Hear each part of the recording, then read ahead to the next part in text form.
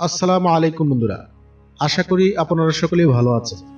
নিঃসন্দেহে সর্বশ্রেষ্ঠ মানব হজরত মোহাম্মদ সাল্লাহ আলিহাল্লাম যাকে কেন্দ্র করেই তামাম পৃথিবীর সৃষ্টি, তার প্রশংসাই হচ্ছে দূরদ।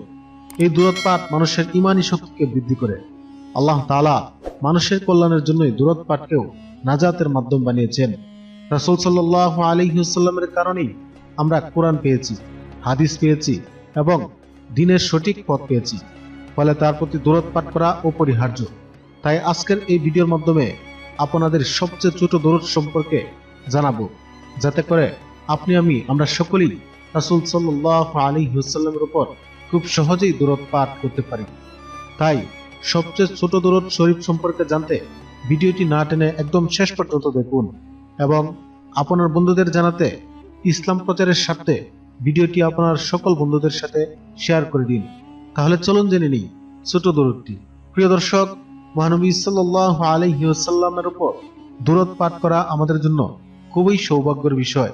সুপ্রিয় দর্শক, অনেকেই জানতে চেয়েছেন সবচেয়ে ছোট দূরত কোনটি?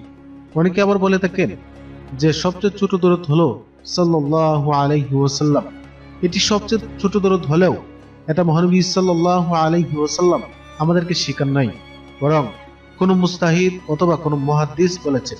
কিন্তু এটা পড়লেও সমস্যা নেই। তবে মহানবী সাল্লাহ আলাইহি ওয়াসাল্লাম সবচেয়ে যে ছোট দূরত্বে আমাদেরকে শিখিয়েছেন, সেটি আমি আজ বর্ণনা করব।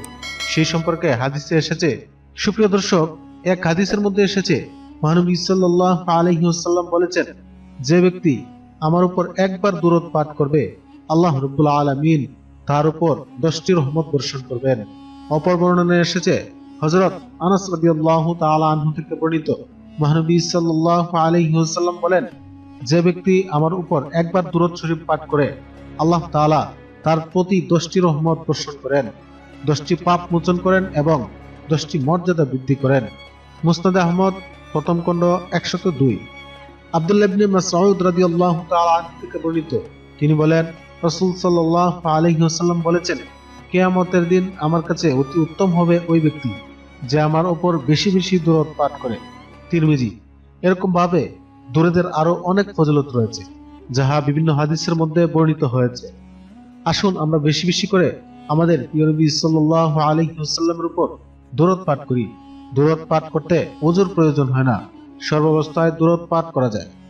কাজ করা অবস্থায় শুয়ে বসে চলতে ফিরতে, সুপ্রিয় দর্শক, আসুন এবার জেনে নেই সবচেয়ে ছোট দূরত কোনটি, যেটি দূরত মহানবী সাল্লাহ আলাইহি ওয়াসাল্লাম আমাদেরকে নিজ জবান মুবারকের মাধ্যমে শিখিয়েছেন। এ সম্পর্কে যে হাদিসটি এসেছে নাসাই শরীফের হাদিস। হাদিস নম্বর বারোশত পঁচিশ। এক সাহাবি জিজ্ঞাসা করলেন, হে আল্লাহ রসুল, কীভাবে আমরা আপনার উপর দূরত পাঠ করব? তখন মহানবী সাল্লাহ আলাইহি ওয়াসাল্লাম বললেন, তোমরা বলো আল্লাহ সাল্লি আলা মুহাম্মাদি আলা আলি প্রিয় দর্শক, কিয়ামতের দিন রাসূল সাল্লাল্লাহু আলাইহি ওয়াসাল্লামের কাছে অতি উত্তম হতে বেশি বেশি দূরত পাঠ করুন। আল্লাহ তাআলা যেন আমাদের বেশি বেশি দূরত পড়ার তৌফিক দান করেন। আমিন।